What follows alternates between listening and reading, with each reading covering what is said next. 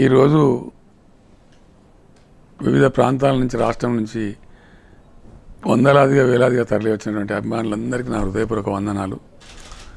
నాకు అనుకోకుండా జరిగినటువంటి యాక్సిడెంట్తోని ఆసుపత్రిలో యశోద హాస్పిటల్లో నేను ఇక్కడ ఉన్న ఈ సందర్భంలో వైద్య బృందం సీరియస్గా నన్ను హెచ్చరించింది ఏంటంటే ఇన్ఫెక్షన్ వచ్చే అవకాశం ఉంటుంది దాంతో సమస్య ఇంకా పెరిగి చాలా అవస్థలు వస్తాయి. మీరు నెలల తరబడి బయటకు పోలేరనే మాట చెప్తున్నారు.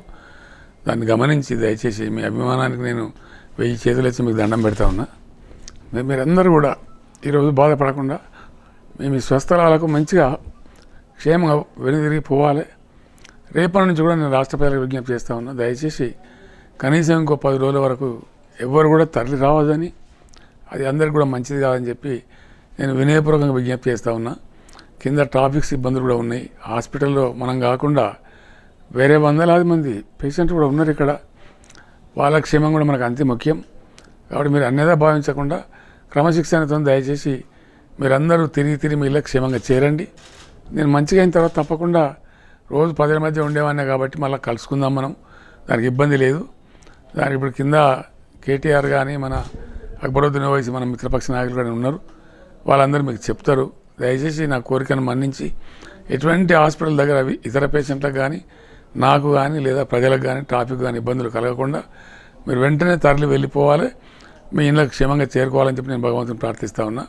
నా మాటను మన్నించి గౌరవించి ఏమాత్రం ఇబ్బంది లేకుండా గొడవ లేకుండా మీరందరూ తిరిగి మీ స్వస్థలకు క్షేమంగా చేరుకోవాలనేది నా విజ్ఞప్తి. నా విజ్ఞప్తిని తప్పకుండా మీరు మన్నిస్తారని భావిస్తా ఉన్నా. ధన్యవాదాలు.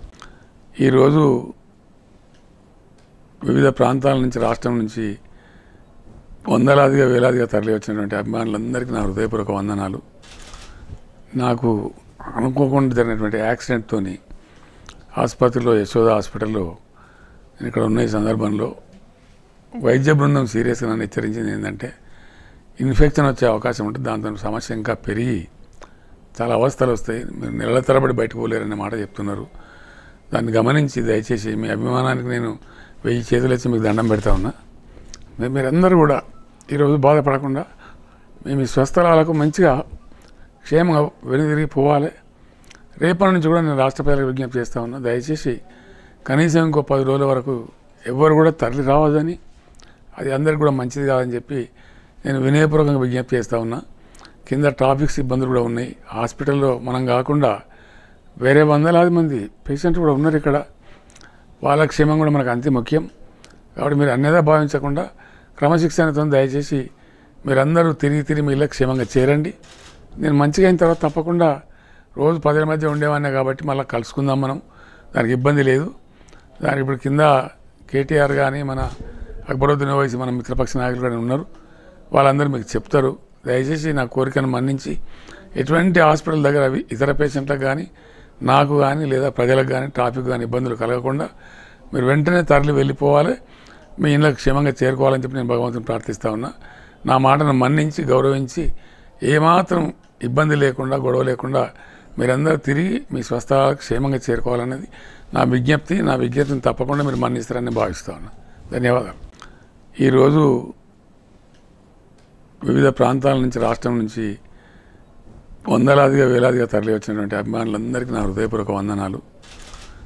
నాకు అనుకోకుండా జరిగినటువంటి యాక్సిడెంట్తోని ఆసుపత్రిలో యశోద హాస్పిటల్లో నేను ఇక్కడ ఉన్న ఈ సందర్భంలో వైద్య బృందం సీరియస్గా నన్ను హెచ్చరించింది ఏంటంటే ఇన్ఫెక్షన్ వచ్చే అవకాశం ఉంటుంది దాంతో సమస్య ఇంకా పెరిగి చాలా అవస్థలు వస్తాయి. మీరు నెలల తరబడి బయటకు పోలేరనే మాట చెప్తున్నారు. దాన్ని గమనించి దయచేసి మీ అభిమానానికి నేను వెయ్యి చేతులు వచ్చి మీకు దండం పెడతా ఉన్నా.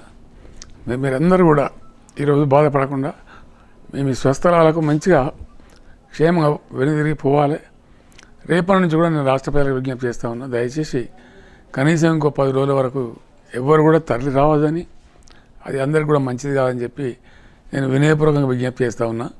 కింద ట్రాఫిక్ ఇబ్బందులు కూడా ఉన్నాయి. హాస్పిటల్లో మనం కాకుండా వేరే వందలాది మంది పేషెంట్లు కూడా ఉన్నారు ఇక్కడ. వాళ్ళ క్షేమం కూడా మనకు అంతే ముఖ్యం. కాబట్టి మీరు అన్నదా భావించకుండా క్రమశిక్షణతో దయచేసి మీరందరూ తిరిగి తిరిగి మీ ఇళ్ళకి క్షేమంగా చేరండి. నేను మంచిగా అయిన తర్వాత తప్పకుండా రోజు పదిల మధ్య ఉండేవాడిని కాబట్టి మళ్ళీ కలుసుకుందాం మనం.